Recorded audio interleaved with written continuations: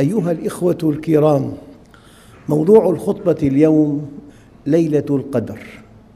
ولكن سوف أضع بين أيديكم خواطر إيمانية مستندة إلى نصوص قرآنية.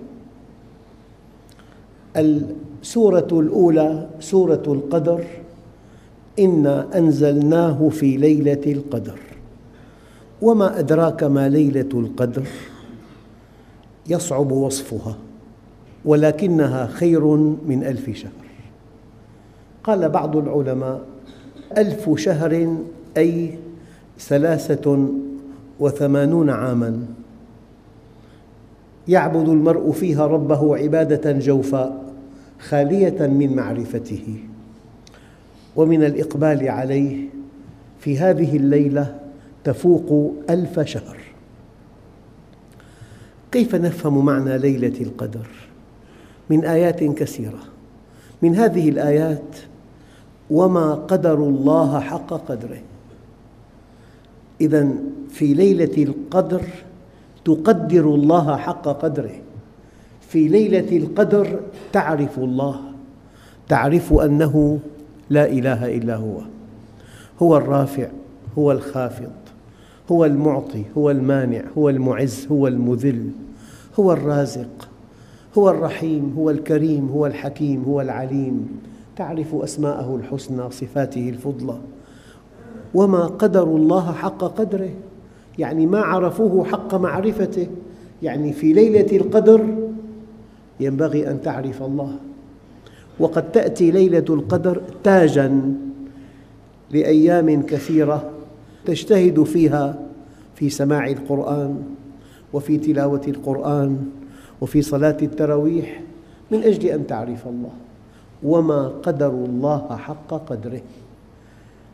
قال بعض العلماء في قوله تعالى مثانية أي أن كل آية تنثني على أختها فتشرحها. إنا أنزلناه في ليلة القدر بمعنى أن تعرف الله.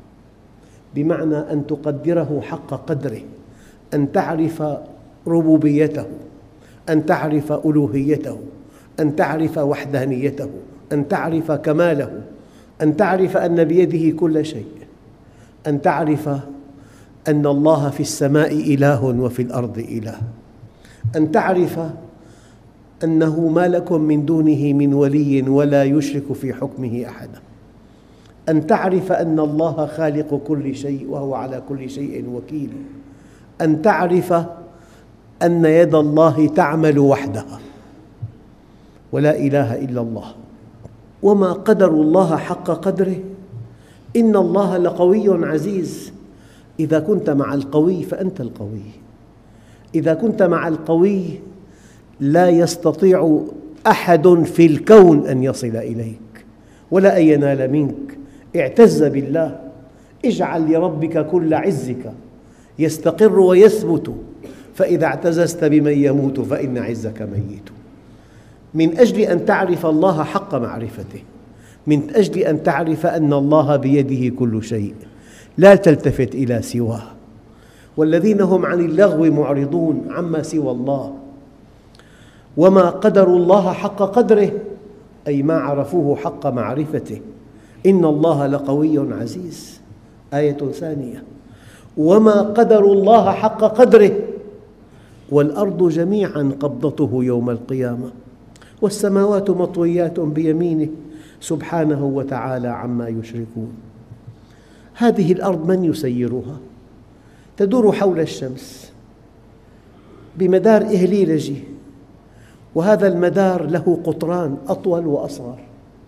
فإذا وصلت إلى القطر الأصغر قلت المسافة بينها وبين الشمس وعندئذ تزداد قوة جذب الشمس لها. هناك احتمال أن تنجذب إليها فتتبخر الأرض في ثانية واحدة. ما الذي يمنع انجذابها إليه إلى الشمس؟ أن الله يرفع سرعتها. لينشأ من هذه السرعة الزائدة قوة نابذة تكافئ القوة الجاذبة فتبقى في مسارها. إن الله يمسك السماوات والأرض أن تزولا عن مسارهما. وما قدروا الله حق قدره والأرض جميعا قبضته يوم القيامة والسماوات مطويات بيمينه. سبحانه وتعالى عما يشركون. هذه الآية الثانية الأولى وما قدروا الله حق قدره. إن الله لقوي عزيز. والآية الثانية وما قدروا الله حق قدره والأرض جميعا قبضته يوم القيامة والسماوات مطويات بيمينه. هذه الآيات تشرح لنا معنى ليلة القدر. أن تعرف الله أن تعرف أنه إله. بيده كل شيء. واحد أحد فرد صمد. لم يلد ولم يولد. لتعرف أن الله سبحانه وتعالى على كل شيء رقيب وعلى كل شيء وكيل. آية ثالثة. وما قدروا الله حق قدره. إذ قالوا ما أنزل الله على بشر من شيء. هذا الإله العظيم الرحيم. هل يعقل أن يدع عباده من دون توجيهات؟ من دون دلالة؟ من دون لفت نظر؟ فهذه الرسالات جعلها الله هداية للبشر. فإذا أنكرت الرسالة أنت ما عرفت رحمته وما عرفت ربوبيته وما قدروا الله حق قدره إذ قالوا ما أنزل الله على بشر من شيء؟ أيها الإخوة الكرام فالق الإصباح هذا الصباح الذي يأتينا كل يوم من يخلقه؟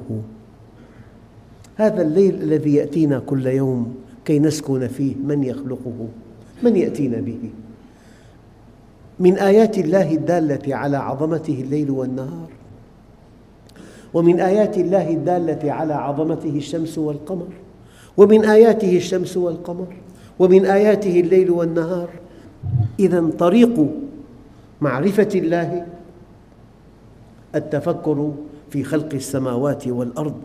فالق الإصباح وجعل الليل سكناً والشمس والقمر حسباناً ذلك تقدير العزيز العليم. أيها الإخوة لو وقفنا عند الآيات الكونية تقترب من ألف آية. موقفك من أية آية أيها المؤمن؟ موقف محدد. من آية الأمر أن تأتمر من آية النهي أن تنتهي من آية وصف الجنة أن تسعى إليها. من آية وصف النار أن تفر منها. من آية هلاك الأمم السابقين أن تتعظ. فإذا مررت على ألف آية تتحدث عن الكون ما موقفك من هذه الآيات؟ موقفك من هذه الآيات إن في خلق السماوات والأرض واختلاف الليل والنهار لآيات لأولي الألباب الذين يذكرون الله قياماً وقعوداً وعلى جنوبهم ويتفكرون في خلق السماوات والأرض ربنا ما خلقت هذا باطلاً سبحانك فقنا عذاب النار من هذه الآيات فالق الإصباح وجعل الليل سكناً والشمس والقمر حسباناً ذلك تقدير العزيز العليم كيف تعرف الليل والنهار؟ من الشمس ومن دورة الأرض حول الشمس. وكيف تعرف الشهور من القمر؟ والشمس والقمر حسباناً. ذلك تقدير العزيز العليم. فلان عمره تسعين سنة. يعني عاش تسعين دورة حول الشمس. وفي كل سنة في اثني عشر شهراً حددها له القمر. من آيات الله الدالة على عظمته كي نقدر الله حق قدره. هو الذي جعل الشمس ضياء والقمر نوراً وقدره منازل لتعلموا عدد السنين والحساب. ما خلق الله ذلك إلا بالحق يفصل الآيات لقوم يعلمون. أيها الإخوة الكرام ألم نخلقكم من ماء مهين؟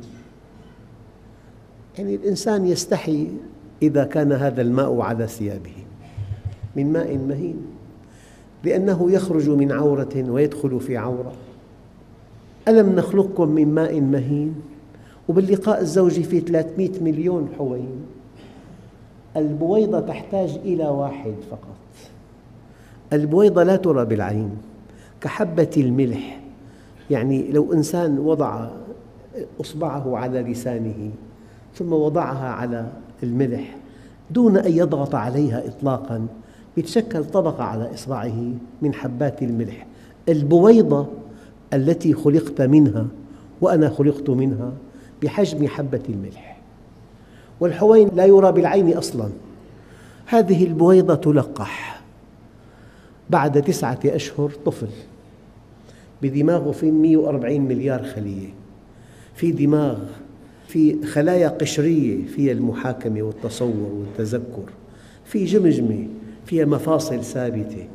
في جهاز هضم معقد جدا في جهاز تنفس في جهاز إفراز فضلات في جهاز كليتين في عضلات في أعصاب في غدد صماء عالم قائم بذاته من هذه البويضة الملقحة.